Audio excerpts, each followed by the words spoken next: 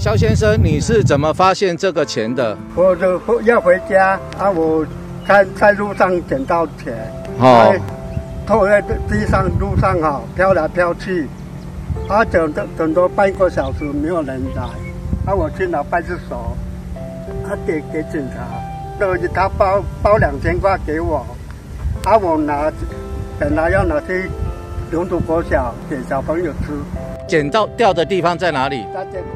在这里，有没有掉到水里去？没有没有，我看还有，不知道还有没有还有没有明天。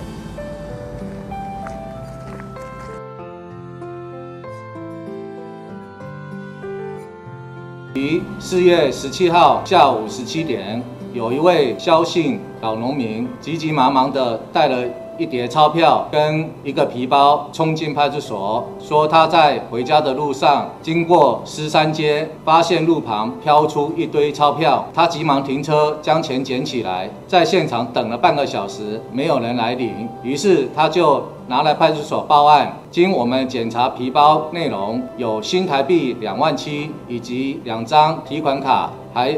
有信用卡，并没有其他证件。正在不知所措的时候，发现有一个电话，就打这个电话看看。接电话那头的男子讲的浓浓的粤语，他的口音是香港人。他说他掉了皮包，正在找，警察就打电话给他了，然后跟他核对皮包的内容物。